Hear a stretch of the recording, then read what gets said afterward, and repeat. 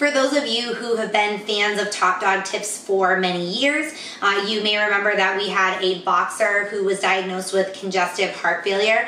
Uh, when she was diagnosed, we worked very closely with our veterinarian, a canine nutritionist, and uh, a canine cardiac specialist to create a diet for her uh, that would be beneficial for heart health. And of course, she was on um, multiple medications as well to uh, try to help that condition. We were able to keep her for about two and a half years after her diagnosis, which was about two years longer than uh, the specialist that we were working with had anticipated.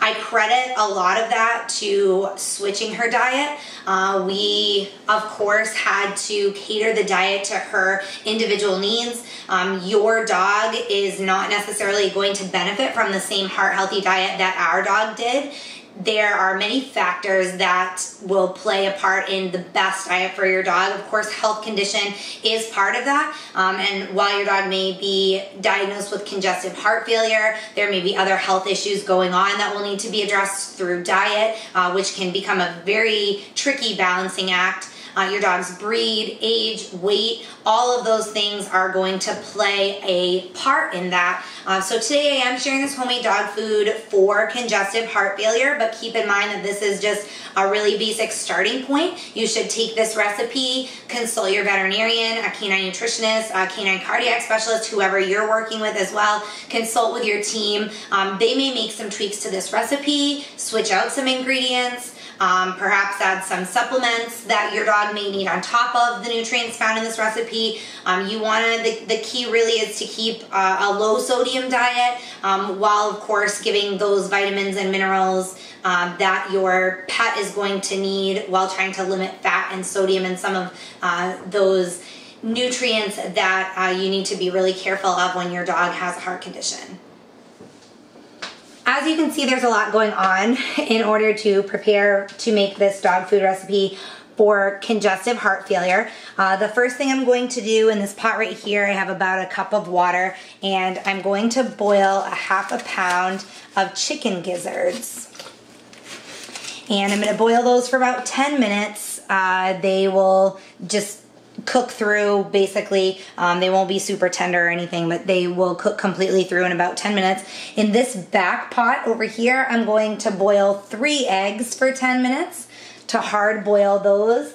And then over here in this pan, I'm going to be browning two pounds of lean Hamburg or lean ground beef um, and also two pounds of lean ground turkey. I'm gonna cook those right up together. Uh, if you like to separate them, you can, but I'm gonna go ahead uh, and do those in the same pan. So uh, once these have cooked completely, once my meat is browned and um, my other two ingredients that are boiling are finished, uh, I will come back and uh, do the next step to making this dog food. The next step in the process is going to be to add your cooked chicken gizzards uh, to your food processor. You're also going to add one sweet potato. I've sliced it uh, just so it's a little bit easier to process. I also have an apple that I've cut into pieces. My three hard-boiled eggs are going in here. I have a cup of peas. I'm sorry, I actually have six ounces of peas. Um, and then I also have six ounces of broccoli and six ounces of uh, of cauliflower. And I used frozen. You don't have to use frozen. Um, if you don't want to, you can use fresh, but it's six ounces of each. I'm gonna process this a little bit just uh, so I have some more room to fit the rest of my veggies in there. Can fit the rest of my broccoli and cauliflower in there now. Um, and I'm just going to process this until it's fairly smooth.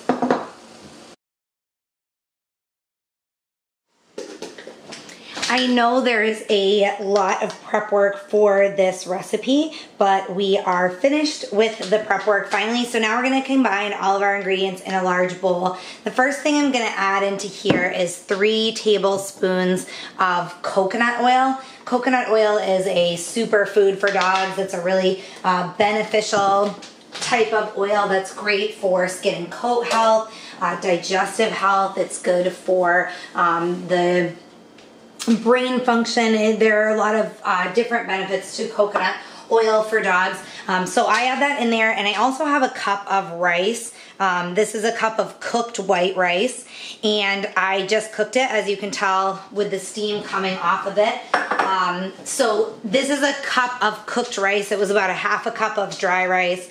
Um, and then of course after you cook it, it uh, it absorbs the water and um, becomes about a cup. And I am adding this in there warm because as you can see, it's melting the coconut oil. Um, if you have the rice and you cooked it in early on and set it aside, um, that's fine. Just melt the coconut oil in the microwave for a few seconds before adding it to the mixture.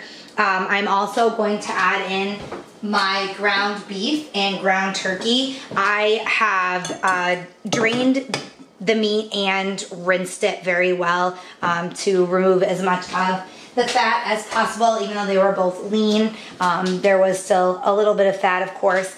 Uh, so I did that. So I have my rice. I'm just going to toss this really quickly. Um, and then I have 14 ounces of canned tuna. And you want to get the tuna that's in water. Um, and I'm going to add that in here.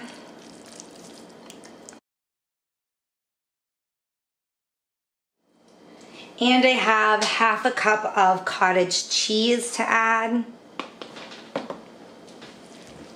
And then the final thing that I'm going to add is that mixture from my food processor, which had uh, the veggies, the eggs, um, and something else, right? Oh, the chicken gizzards are in here as well. Now I can see them. So I'm going to add that, and I actually might even get a bigger bowl, uh, but I'm just gonna toss this all around. Make sure everything's really thoroughly mixed. And uh, that's it. It's good to go. It's ready to serve your dog. Here is my homemade dog food for congestive heart failure. Um, our chocolate lab does not have that issue, thankfully, but um, as you can tell, she loves this food. Hopefully your dog will as well. I recommend feeding about uh, half a cup for every 20 to 25 pounds of body weight. Uh, as with any homemade dog food diet, it's really important that you discuss this diet change with your veterinarian or a canine nutritionist. Uh, you don't want to have nutritional deficiencies on top of heart issues. So it's extremely important that you talk to an expert trained in canine nutrition before making the switch. They can also help you find the right serving size for your dog. More active dogs will need more calories while less active dogs may not need as many. Uh, if you have any other questions, feel free to email me. Thanks.